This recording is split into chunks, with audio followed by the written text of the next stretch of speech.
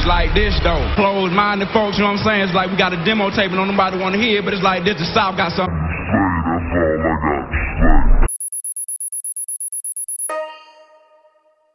The South got something to say, and so did today's feature, Goodie Mob, formed in 1991 by Big Gipp, Khujo, CeeLo Green, and T-Mo. Those words couldn't be more true about the Atlanta-based MCs that had talent written all over them. The most difficult thing to do in this life is to reach your full potential as a human being.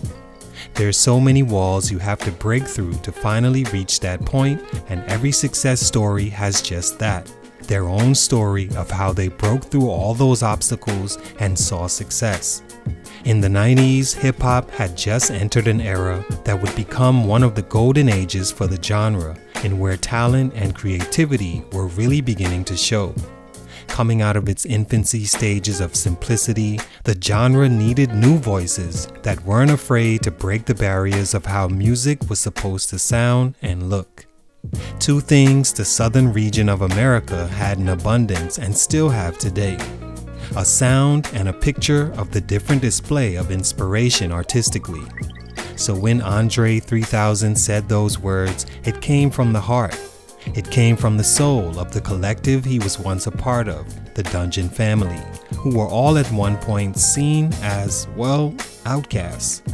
With the success of Outcasts as a two man group, their record label saw an opportunity to continue that success, only with a different title and cast to expand the tree of the Dungeon family. That formed the Goodie Mob, solo artists CeeLo, Big Gipp, and duo from the Lumberjacks T-Mo and Khujo. Goodie Mob came out and was noticeably different than anything on the radio or being broadcasted on TV. Initially, they painted the picture of young men socially and consciously aware of the world happening around them, good or bad. Their social consciousness wasn't at first accepted by the industry, but due to belief in the group by powers in the music industry, they were able to get their message out about injustice all around the world, and the masses appreciated them for it. They were supposed to have become the next great hip hop group with an undertone of messages that could still help the struggle today. Had these things not happened, who knows how hip hop could have been shaped, especially in the South, who arguably reigned atop the genre since the early 2000s till today. So, what happened? Why didn't Goodie Mob have the success they were expected to? Let's talk about it. It's your boy JC Stunted Growth. Let's get it, man.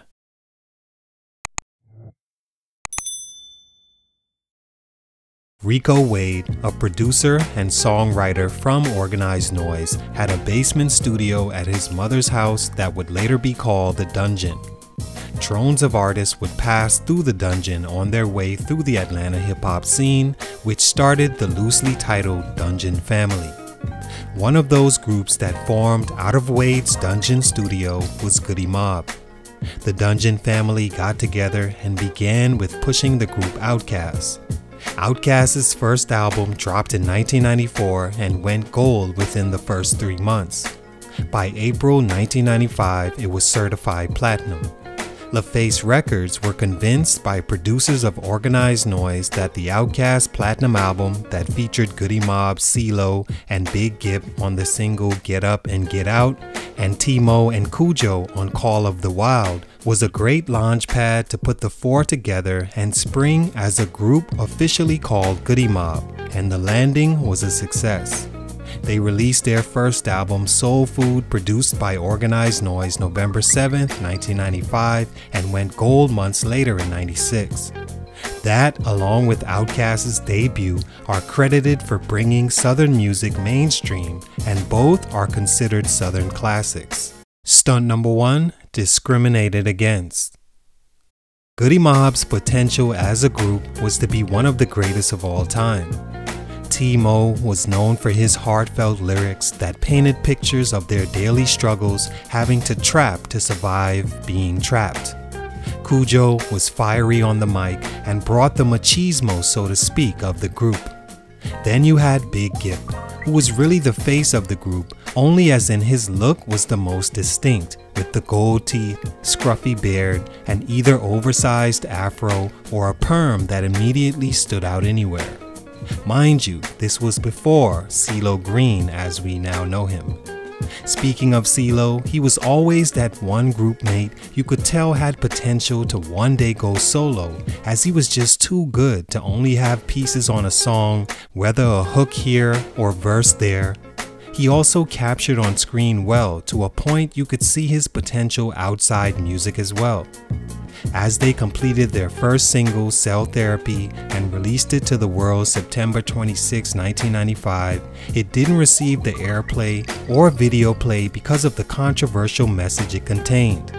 Without promotion, it still became a top 40 charting song and their highest charting song ever. The discrimination continued with DJs on the East Coast not wanting to play their records because of the controversy behind their music and also the notion that Southern artists weren't lyrical and were all about twerk music, as if they were slow in the way of the world. But Goodie Mob was everything but that. Their initial success came all while no one wanted to give them a chance, and that hurt their beginnings, but it didn't kill them just yet. Had they been given the support, though, they deserved sooner, man, imagine a world with Goodie Mob's message coming from the South. Stunt number two, the World Party album.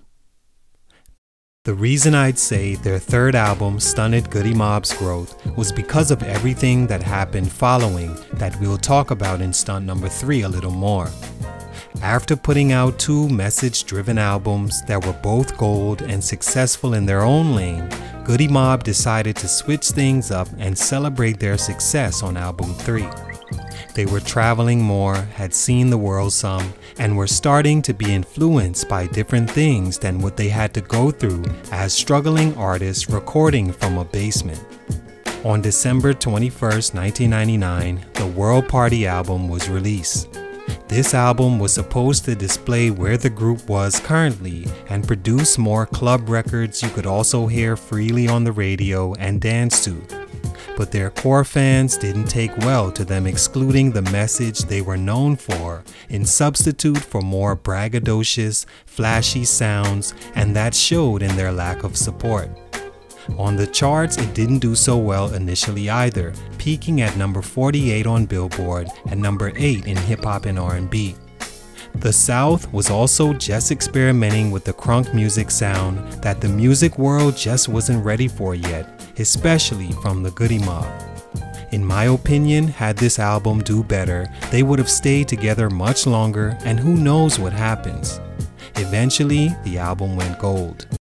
Stunt number 3, The Breakup. Possibly the biggest stunt in the growth of Goodie Mob was their unfortunate and early breakup, which in actuality wasn't a breakup at all, just the inevitable happenings of hip hop history being made. From the beginning, this was supposed to happen. T-Mo and Khujo already had the Lumberjacks before Goodie Mob. CeeLo was actually supposed to have been an outcast initially, and Big Gipp was always his own artist, so them lasting three albums was a successful run. The end just happened right in the middle of that run when they were transitioning, or trying to at least, from the socially conscious rap to the more party sounds for their third album.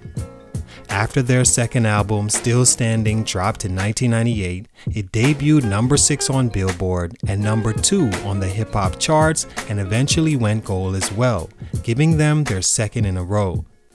Third album, World Party, would eventually go gold, but not in time to keep them together. The first domino to fall was CeeLo. This was the perfect time for him to finally pursue a solo career, and that's what he did. Some members of the group didn't take well to this news and tensions were created. CeeLo became a huge star after he left but still maintained his love for the group. Fourth album was released without Green in 2004 that seemed to diss CeeLo and force fans to have to choose sides. That was the end of Goodie Mob as we knew it. After that album, Big Gipp also went solo, and T-Mo and Khujo were left to fend for themselves. The group would eventually squash their beefs and work on two more albums years later, but as far as their growth being stunted early on, these were the reasons. All in all, Goodie Mob was a legendary hip hop group that possibly pioneered the conscious hip hop sound in the South and had three straight gold albums in their prime. Their music will live on forever, and they still have motivation to work even today. Salute to Khujo, lost his leg in a car accident, but is still striving and persevering, and is one of the glue guys that tried to keep them together. Salute to Goodie Mob, much respect, but for these reasons, their growth was stunted. It's your boy JC Stunted Growth, and I'm out.